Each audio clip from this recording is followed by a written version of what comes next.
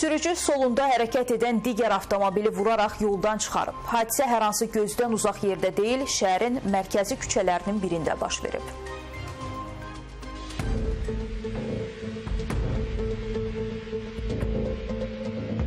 Hadisə Nərimanov rayonu Atatürk prospekti məhz bu istiqamətdə baş verib. Prius markalı avtomobilin sürücüsü Vaz 2107-ni bilərək yolun kənar hissəsinə uzaqlaşdırıb.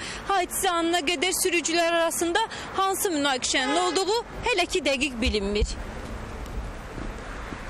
Çoxları Prius markalı avtomobilin icarədə olduğunu və sürücünün bu səbəbdən idarə etdiyi maşını zədələməklə də olsa belə bir əməl törətdiyini düşünür. Sükan arxasındakı şəxsin qeyri-adekvat vəziyyətdə olduğunu düşünənlər də var. Hər halda hadisəni əks etdirən görüntülər yol polisinin də nəzarətindədir və tərəflərin saxlanılması istiqamətində işlərə başlanılıb. Bir qədər sorğu apardıqda yollarda bu kimi hadisələrlə üzləşənlərin az olmadığı üzə çıxır. Görmüşəm olur ki, e, düz yolda bir maşın o biri maşını sıxışdırır, çəkir kənarda saxlayır. Kiminsə yol verməyib, qarşısına çıxıb, yaxud hansısa təhlükəli manevr hərəkətləri eləyib, təkər qaldı. Sürət həddini aşırlar, sanki yarışdı, yarışdadılar.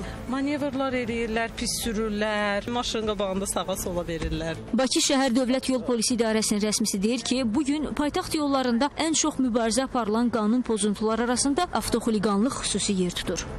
Lakin təəssüflə qeyd etməliyəm ki, e, bəzi sürücülər yenə də kobud şəkildə yol hərəkəti qaydalarını pozaraq həm özlərinin, həm də digər hərəkət iştirakçılarının həyat və sağlamlığını təhlükə altına atırlar. Eləcə də bu kimi qayda pozuntuları bəzən sosial şəbəkə seqmentlərində, eləcə də müxtəlif media subyektlərində yayımlanır ki, belə olduğu təqdirdə dərhal həmin görüntülər tərəfimizdən nəzarətə götürülür, araşdırılır və məsələyə hüquqi qiymət verilir. Mütəxəssislərin fikrincə avtoxuliqanlığın qarşısını almaq üçün cərimələr kifayət etmir. Bəzi Avropa ölkələrində bunun üçün digər cəza üsulları da var.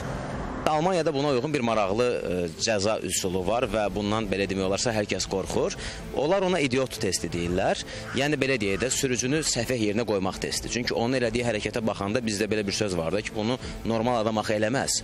Və bu prinsiplə orada belə bir üsul var. Belə hərəkət edən sürücülərdən vəsiqə alınır bir müddət ərzində onlarla məşğul olan xüsusi psixoloqlar olur. Onlar otururlar həmin sürücünün avtomobilinə.